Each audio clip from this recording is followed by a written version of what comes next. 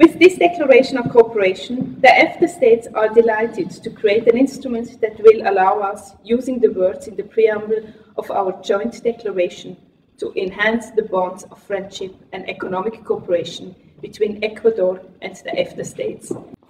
We are hopeful that the joint declaration of cooperation we are signing today will be a tool to strengthen our cooperation and to further promote trade and investment between our economies.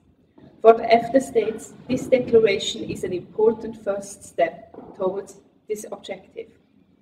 Ambassador Salvador, Excellencies, ladies and gentlemen, the EFTA states and Ecuador have a record of fruitful relations, which will be confirmed today through our joint declaration on cooperation. On behalf of the government of Ecuador, I wish to express our utmost satisfaction for the joint declaration on cooperation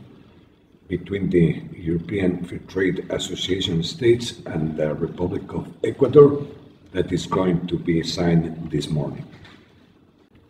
Ecuador is convinced that this declaration that set up the uh, guidelines for our future economic and trade relations will be the key to a more uh, fructiferous exchange of uh, goods and services, between our, our countries as well as investments which in turn will create employment and prosperity.